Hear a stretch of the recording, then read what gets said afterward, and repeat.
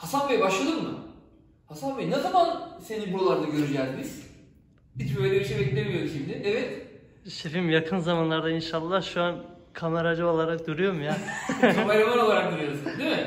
Aynen. İyi tamam kardeşim. Evet. Bize arkadaşlar sıkça gelen sorulardan biri de pulsantaj nedir? Genelde bunu puantajla karıştırıyorlar.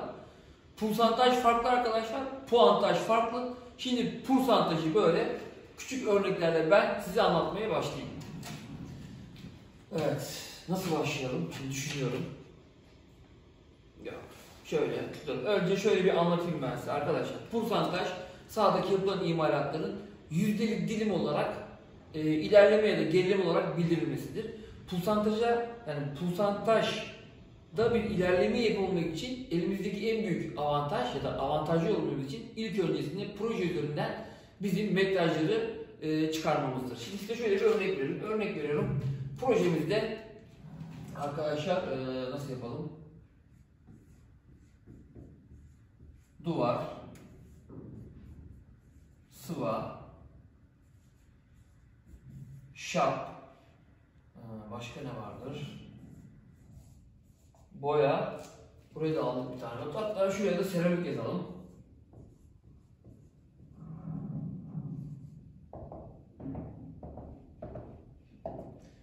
Her birini 100 metre olarak kabul edelim. Toplamda. Yani bir tanesi 100 metrekare.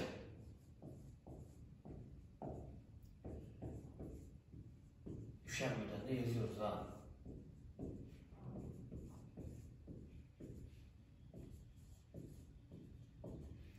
Şimdi e, imalat sıralarına bakmadan şöyle yapalım. Mesela 100 metrekare oldu bu. Bundan 10 metrekare yapıldı. Tamam mı? Bundan 20, bundan 30, bundan 40, bundan 50. Peki bizim şöyle şuraya toplam diyelim. Toplam bu işteki ilerlememiz kaç metrekare ya da yüzde kaç?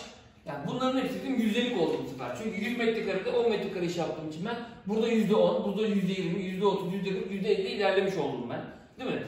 Toplayalım arkadaşlar böyle. 30, 60, 100, 150. Değil mi? Toplamda 1, 2, 3, 4, 5, e, 500 metrekarede 150 metrekarelik işim yapılmış benim. O zaman Pulsantajdaki ilerlemesi kaç bunun? Hemen onu da hesaplayalım. Şöyle ne yapalım? Otomatik olarak arkadaşlar şöyle yapıyoruz hemen değil mi?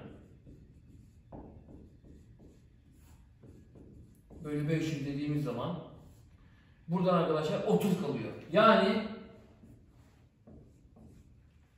e, seramik duvar, sıva, şap, boya arkadaşlar kolay anlaşılabilmesi için hepsine 100 metrekare dedik. Seramikten %10, duvardan %20, sıvadan %30, şaptan %40, boyadan %50 ilerleme yapılmış bu imalatta. Ama bütün imalatların toplam pusantaj ilerlemesine baktığımız zaman arkadaşlar %30 ilerleme çıktı.